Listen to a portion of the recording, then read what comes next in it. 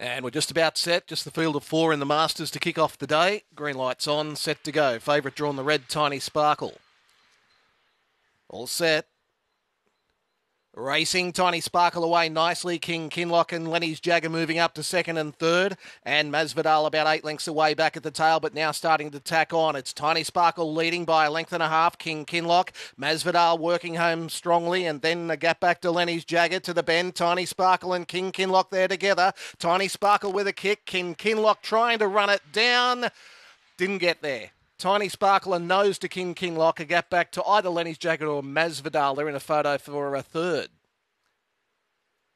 Well, fingers crossed for uh, King Kinlock to try and rack up another win. I don't think it's got there. I think that uh, Tiny Sparkle has held on and it has. 23 23 the run, 11 23 first split. Run home was 12 0. Number one, the winner, Tiny Sparkle. Career win uh, 14 at start 104. And uh, at its 18th start over this course and distance, racks up its first win. Half head the winning margin, five and three quarters, second and third. It's owned and trained by Kerry Schmitzer by Collision from Glamour Row. Kin Kinlock, owned and trained by Nolene Holloway. Kinloch Brae Queen Esther is the breeding.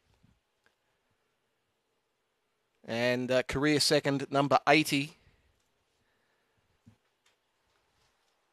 And third should go to five, Lenny's Jagger, owned and trained by Tisha Pye, by Kibo from Thatcher.